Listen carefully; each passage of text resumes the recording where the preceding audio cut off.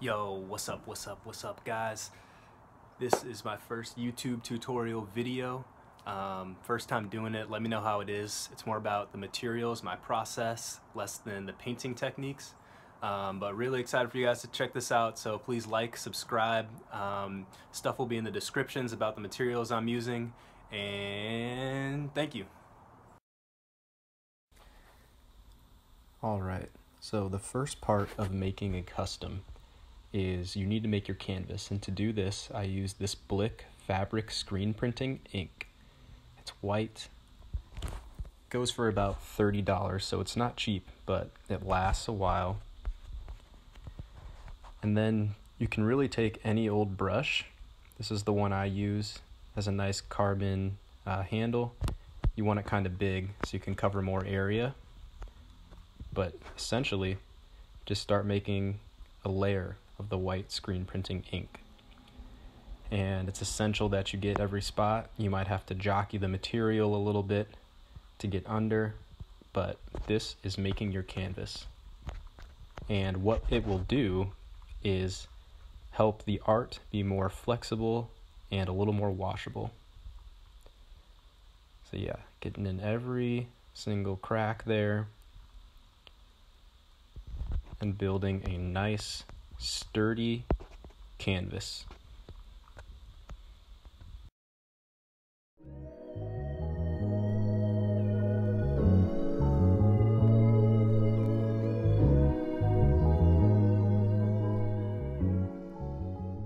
So once your canvas is done and dried, I usually let it dry for a night.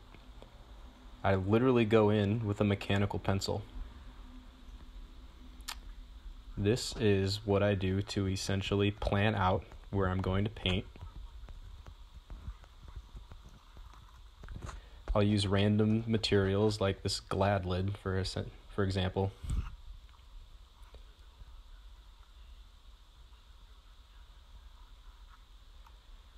Just to get any details straight edge, but all I'm doing here is planning where I'm going to paint basically just getting a, a basic sketch.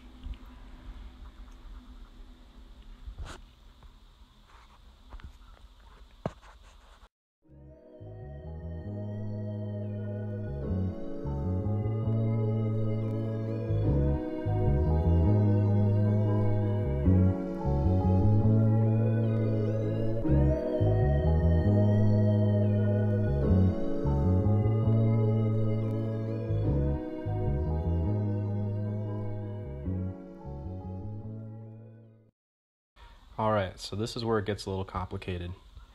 I use this basic Blick acrylic paint. They come in 48 tube sets. This is really convenient. I think it goes for like $50. And essentially what I do is put it in my palette. And the most important step is this right here. This is golden textile medium GAC 900. Make sure you're getting the right brand. And it is essential to the process. What I'm doing here is mixing it with the paint. And what this does is makes the paint more loose as well as more washable and can blend better.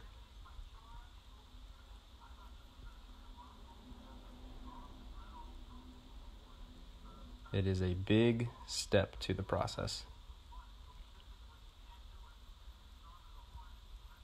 You want to use this basically for every stroke.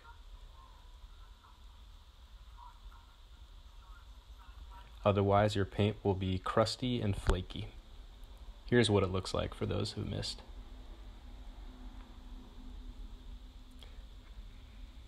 And now's the fun part. I'm just going to kind of speed it up throughout the rest of the video. Um, but those are the basics on how I get started.